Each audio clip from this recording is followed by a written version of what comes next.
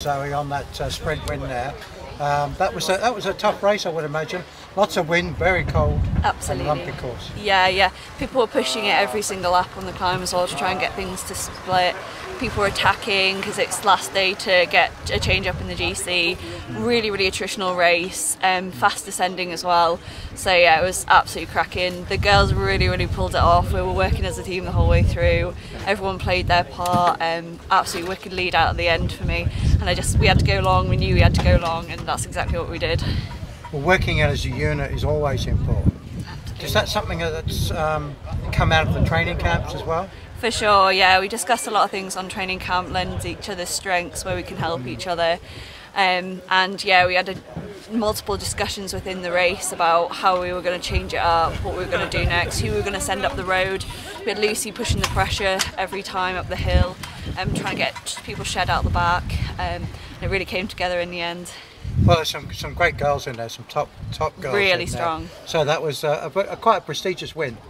Thank you. Yeah. Um, and on top of that, a silver medal at the at the at the Zwift Swift Worlds. Yeah.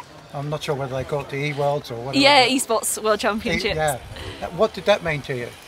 so so much. It was um, it was a self confidence boost, really, to be honest. Um, I, going into it, I didn't honestly know if I could if I could do that well, if I could even make the last race. Um, so to be able to push through um, and and get that silver medal in the end. Again, I had the, the GB girls working as well, helping the whole way. Um, and yeah, it was it was it was absolutely amazing.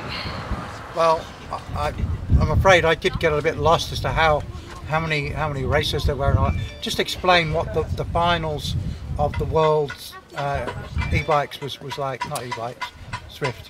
Um, yeah, yeah. So those three races. What the first one, the, the top 40 that were through the finish line, got to go into the second race. Um, so that was it was fairly flat, sort of rolling course, and then it had one little kicker at the end, which was sort of like a 40 minute long sort of sprint. Uh, then you went into the second, which was just a hill climb, essentially three times up the same hill.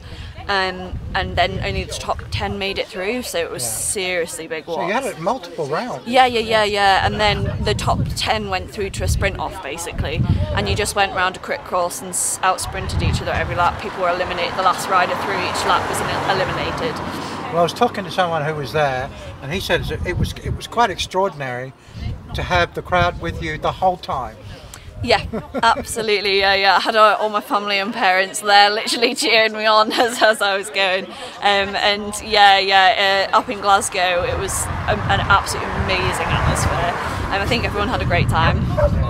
Finally, now that you've got this victory under your belt, what's what are your goals and ambitions with this team? Which, you know, this team has a great track record. Yeah, yeah. I I mean, absolutely amazing. Uh, we're just going to see how the season pans out. To be honest, anything can happen. Um, I want to keep trying to get stronger, uh, keep the team trying to work together, getting stronger as a team, um, and we'll see where it goes from there.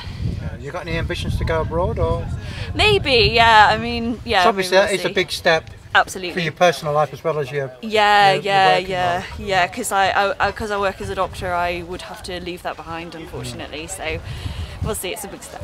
All right, well done.